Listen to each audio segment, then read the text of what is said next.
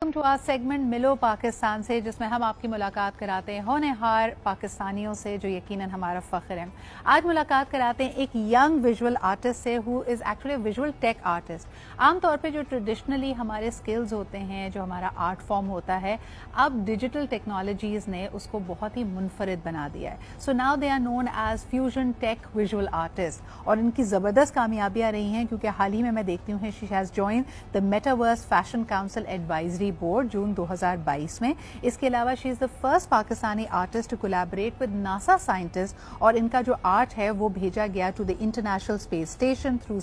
SpaceX मजीद क्या होने वाला है इस दुनिया में? Because it is a new universe all together new metaverse जिसके अंदर हम आर्ट फ्यूजन और हमारे रिवायती जो आर्ट फॉर्म्स हैं, उनको टेक बेस्ड होने की बात कर रहे हैं। She of course is a graduate of the Indus valley school of arts हमारे साथ आज मौजूद हैं आयशा मुबारक अली। अस्सलाम वालेकुम आयशा वालेकुम good morning to you good morning to you so this you know हम कहते हैं कि पाकिस्तान में तो ऑलरेडी स्ट्रगल है आर्ट को समझने की सकाफत को समझने की। What is this fusion form and you know what amazing things are you up to up to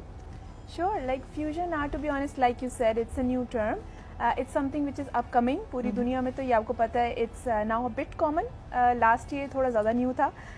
but we all know कि चीज़ें इतनी जल्दी चेंज हो रही हैं। We are just seeing a lot of new technologies coming up तो fusion basically किसी भी uh, दो या तीन टेक्नोलॉजीज़ दो या तीन traditional mediums if I speak more from the arts perspective तो उनको जब आप कंबाइन करते हैं तो that's called the fusion art but then also जो डिफरेंट आर्टिस्ट हैं हमारे यहाँ स्पेशली इन पाकिस्तान हम देखते हैं कि ट्रेडिशनल आर्ट्स में बहुत लोग हैं जो आगे जिन्होंने अपना काम इंटरनेशनली भी दिखाया but I think any one can become a fusion artist this is the beauty of fusion art that आप कोई भी technology like light like sound like A I data collection which is a very good field in itself internationally इन चीज़ों को आप use करके अपनी practice को enhance कर सकते हैं। सो दिस इज़ बेसिकली लेकिन आयशा मुझे ये बताएँ these are the pros and if I may be the devil's advocate over here we are at a very interesting and a very mammoth crossroads मुझे लगता है। बिकॉज़ देखो बहुत सारे जो हमारे ट्रेडिशनल आर्ट्स हैं जहाँ उनको एक नई ज़िंदगी एक नई जिला बख्शी जाएगी कहीं ना कहीं we are also probably are at a risk of losing छोटी सी मिसाल है अजरक एक तीन हज़ार चार हज़ार साल पुरानी सकाफत है।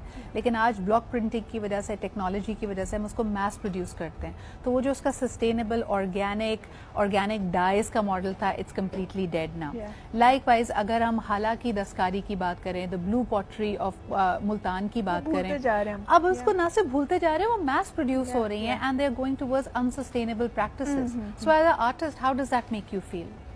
This is actually something that I think a lot of artists are concerned about and they should be because uh, जो sustainability का issue है ना that's a global issue आप देख रहे हैं कि environment किस तरह affect हो रहा है तो I think कोई भी जो आपकी art practice है fashion practice है उसको sustainable होना चाहिए mass produce नहीं होना चाहिए it should be uh, ethically sourced it should be uh, created with conscious behavior and this is exactly one of the things uh, जो metaverse fashion council में you know because I'm a part of uh, the advisory उसमें हम ये discussion करते हैं internationally and people are really talking about the carbon footprints and you know all of this stuff लेकिन इसके अंदर if we add uh, the copyrights of an mm. artist or yeah, of a culture yeah. मुझे कई दफ़ा लगता है जैसे आपने देखा होगा कि ये चीज़ें होती हैं कि एक कोई बहुत बड़ा अमेरिकन ब्रांड है लग्जरी ब्रांड है and they've taken inspiration for for example from our Peshawari chappal और from a pattern which is you know close to us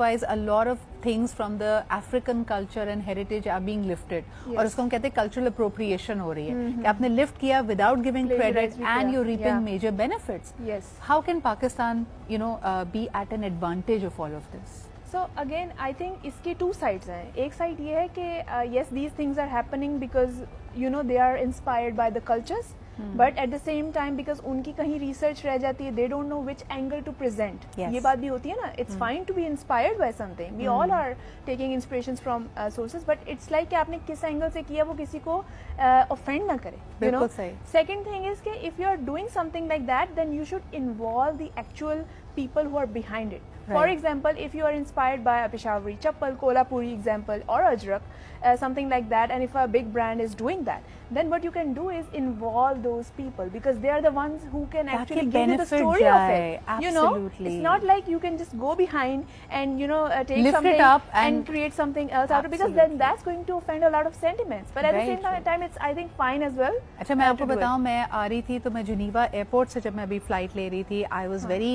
Excited happy and at the same time it was a you know mix bag of emotions कि मैंने देखा कि UNHCR ने एक stall लगाया हुआ है वे they are presenting art and you know artisans of the refugee community Yes. वो लोग जो मुख्तलिफ हालात की वजह से डिस्प्लेस होते हैं they are being help in creating the artifacts that they would like to but Ayesha coming to your work which is out of the world any ways is being sent to the space station ये कैसे हुआ and how did you collaborate with the NASA scientist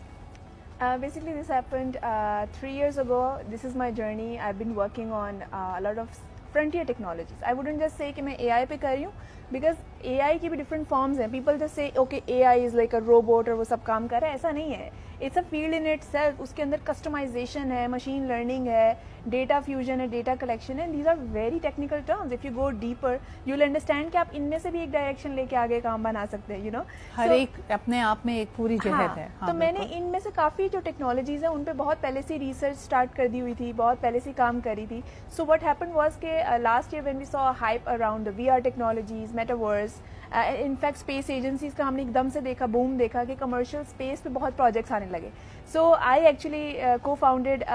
company in London called Meta Visionaries तो उनके साथ a group of people again few of them had connections with NASA and stuff like that तो उससे क्या हुआ कि I I got like a network फिर Okay. हमने इस तरह के प्रोजेक्ट स्टार्ट किए जिनमें से एक मैलेथ टू भी था and we sent my art along with other experiments along with other staff to the International Space Station okay so what happens they are being displayed at the International Space Station इस बात की अहमियत क्या है and how in the future are you going to build up on this okay since we are at like offset अभी हम बहुत हमारी जो अंडरस्टैंडिंग है ना स्पेस के बारे में बहुत लिमिटेड है। तो हम उसको और समझ रहे हैं कि हम एआई को कहाँ कहाँ यूज़ कर सकते हैं और कहाँ कहाँ ऐसे यूज़ कर सकते हैं कि वो इंटरडिसिप्लिनरी भी हो राइट right? तो उस जब हम एंगल से बात करते हैं uh, तो जो मेरा प्रोजेक्ट था I am just connecting it to that हमने एक क्यूब भेजा था मैं इसलिए टेक्निकली बताई ताकि समझ आए कि आर्ट हाँ, कैसे है exactly. इट्स अ क्यूब और उस क्यूब के अंदर uh, आप ना कस्टमाइज्ड एल्गोरिदम्स लगाते हैं ठीक है Okay. अब कस्टमाइज एल्गोरिदम से क्या होता है कि आपने उसके अंदर जो भी डेटा डाला है that can be physical data that can be digital data but उसकी स्पेस लिमिटेड होती है। तो उसमें आप डालते हैं अपना आर्ट या साइंटिफिक एक्सपेरिमेंट्स या डायबिटिक फ़ूड अल्सर के जैसे हमने वो भी भेजे सैम्पल्स अब वो जो चीज़ें आप रॉकेट के through in my case SpaceX के rocket you know it took to the International Space Station फिर वहाँ क्या होता है? The astronauts they take the data and वो क्या करते हैं कि वो उसके थ्रू माइक्रो ग्रेविटी जो इन्वायरमेंट है स्पेस का उसमें एक्सपेरिमेंट्स उसमें वो आर्ट को यूटिलाइज uh, करते हैं। And now what do I mean by utilize हाँ। इस इसका ये मतलब है कि स्पेस uh, में जब आप चीज़ें भेजते हैं तो उसका इम्पैक्ट और होता है। अब अगर हमने कोई यहाँ से कस्टम एल्गोरिदम इस तरह के लिखे हैं जो अर्थ से डिफरेंट हैं जो स्पेस के इन्वायरमेंट को रिस्पॉन्ड करते हैं बिकॉज़ वी नो ना कि सैटेलाइट्स होती हैं और वो हमारा इन्वायरमेंट ऑब्ज़र्व कर रहे हैं। So everything is different in space. तो जब हम उसके अंदर एक चीज़ को ऑब्ज़र्व करते हैं तो then images come back differently right and that's just one form of how A I is being utilize and then it gives you a better understanding of that environment as well तो एक तरह से art is being use for a very and purely scientific over there. Exactly. ताकि आइंदा अगर आपने ये देखना है कि क्या वहाँ के हालात मुवाफक हैं इस बात के कि इंसान वहाँ पे रह सके या हम इसको मुख्तलिफ़ और स्टडीज़ में अपने अपने यूनिवर्स को बेहतर समझने में ग्रेविटेशनल फोर्सेस को फ़िज़िकल इन्वायरमेंट को समझने में इस्तेमाल कर सकते हैं तो art has a manifestation same goes for the science जैसे मैंने बोला कि अगर आप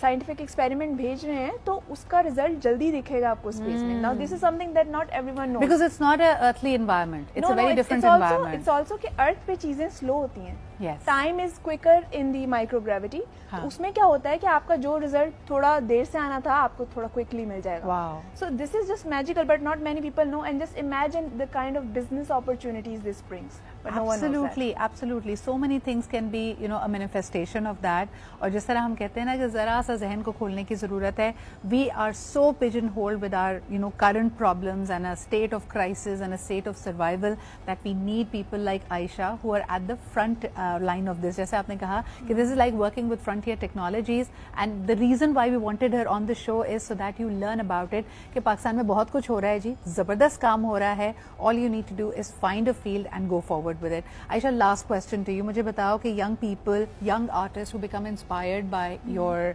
achievements अगर वो आपके साथ काम करना चाहें तो how can they get in touch with you I'm very reachable to be honest. Huh.